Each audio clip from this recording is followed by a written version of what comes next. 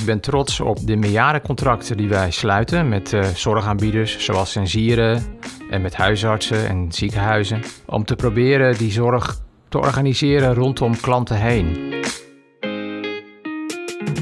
Ik ontvang twee zorgmomenten per dag. Wat ik vooral prettig vind is dat er eh, in goed overleg heel veel mogelijk is.